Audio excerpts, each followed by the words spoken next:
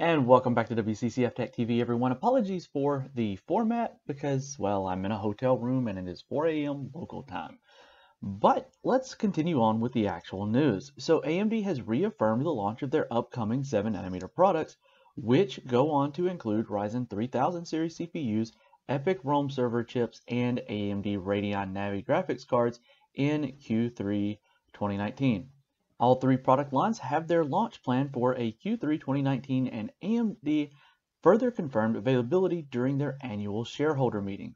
The confirmation suggests that AMD is on track for the launch of their next generation 7nm based products, which include the AMD Ryzen 3000 series processors for mainstream desktop PCs, EPYC Rome chips for servers, and Radeon Navi graphics cards for gaming PCs.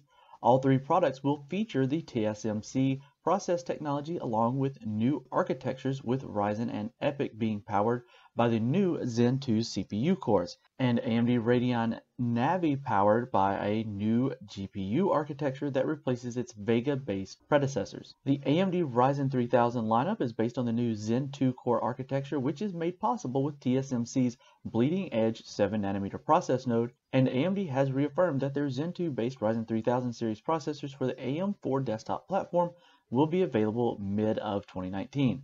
Back during CES 2019, AMD demoed an 8-core sample of their third generation Ryzen desktop series processor against Intel's Core i9 9900K. The AMD sample was not only faster, but consumed much lower power doing so. That sample, however, was just the tip of the iceberg as AMD assured us that it was still an early version and final clock speeds would be higher in retail variants. Not only that, but Ryzen 3000 series CPUs were later confirmed to feature up to 16 cores as there is space available for a second Zen 2 chiplet on the main chip interposer, which should bring enthusiast level multi-threading performance down to the AM4 platform. Now on to Navi. We know a few tidbits about the features that AMD Navi GPU will support, such as ray tracing, which has recently confirmed by a highlight on the next generation Sony and Microsoft consoles, which are utilizing AMD Navi 10 GPUs, and Zen 2 based Ryzen CPUs. There were also talks about variable rate shading being introduced on Navi GPUs as a bid by AMD to more modernize their Radeon graphics cards for the mainstream market. Navi would possibly be the last GPU architecture based on AMD's GCN DNA. It was confirmed through AMD's Linux driver that Navi is indeed based on GCN and has the latest GFX 1010 codename, while Vega was termed as GFX 900. There would also be some major improvements made on this Navi architecture in terms of IPC and 7nm efficiency,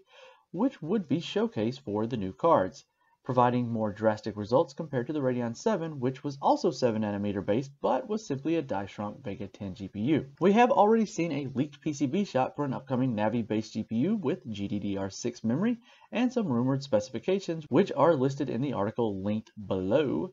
But one thing for sure, Navi-based Radeon GPUs will replace the existing mainstream cards, while the Radeon 7 will continue serving the enthusiast market as AMD's flagship until high-end Navi cards are introduced, which are currently rumored for sometime in 2020. At that point, they will be competing with Intel and Nvidia both in the market. AMD has planned out multiple events to pre-announce their upcoming products, starting off with Computex 2019 on May 27th and at E3 2019 on June 10th.